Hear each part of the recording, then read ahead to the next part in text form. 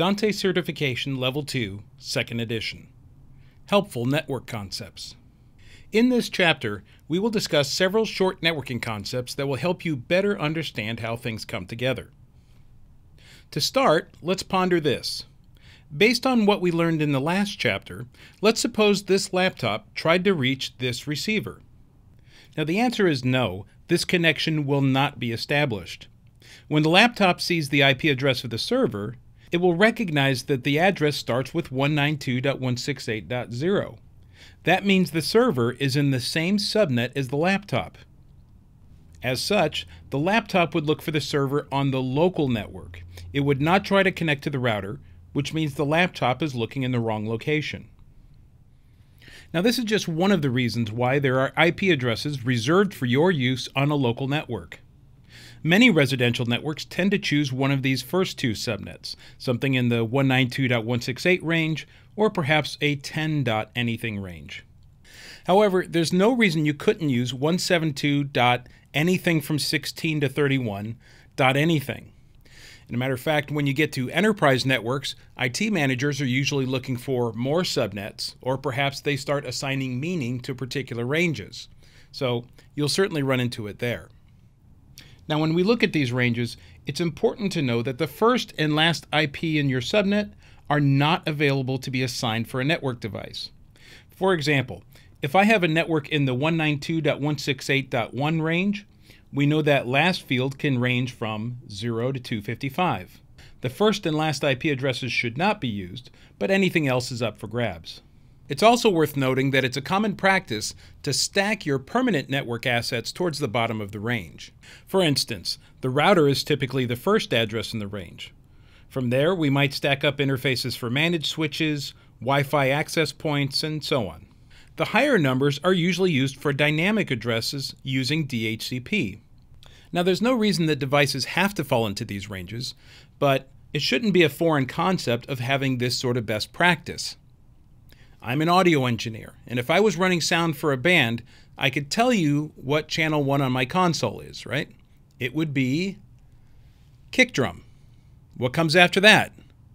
Snare, hi hat, toms, overhead, bass, right? A lot of the other audio engineers in the audience are probably saying these things right along with me.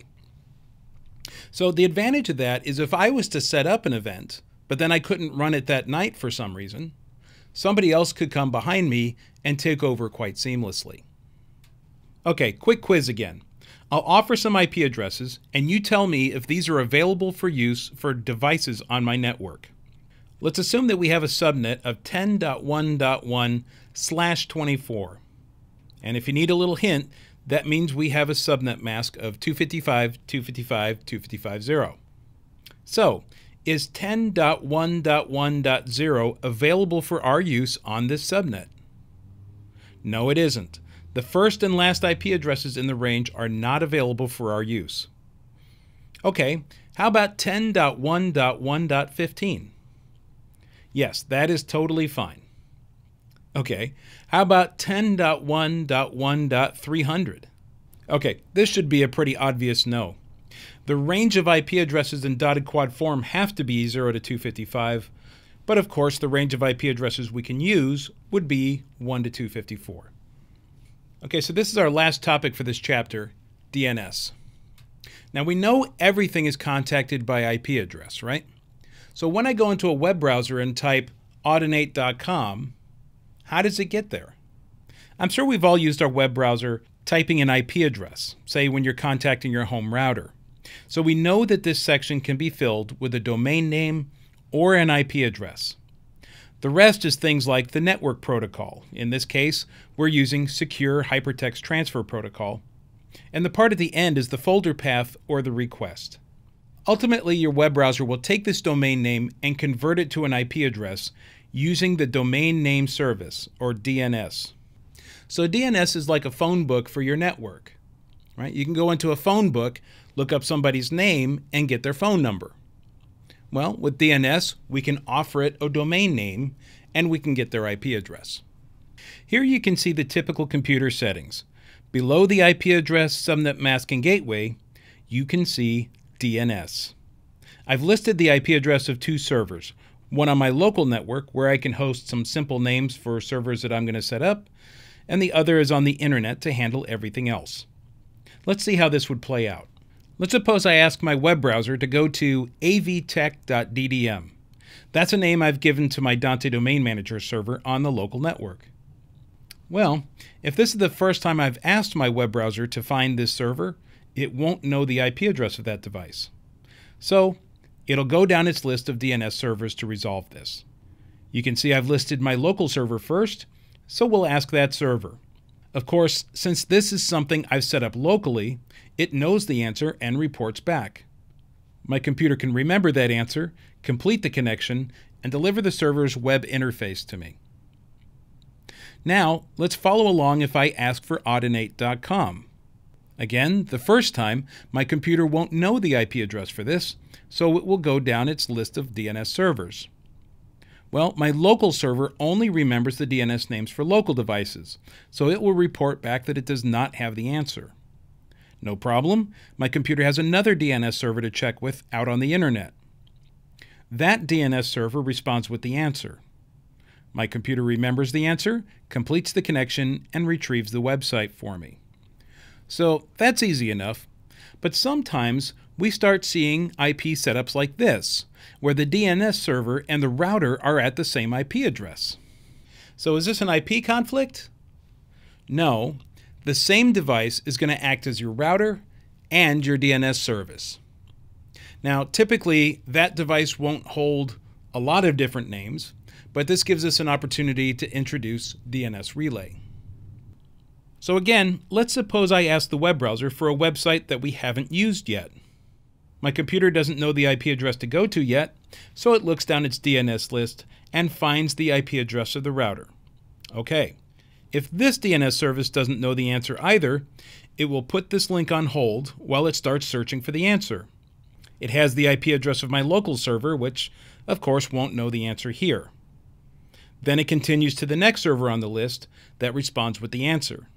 Now our DNS service can take that original connection off hold, report the answer back, and from there things move as they did before.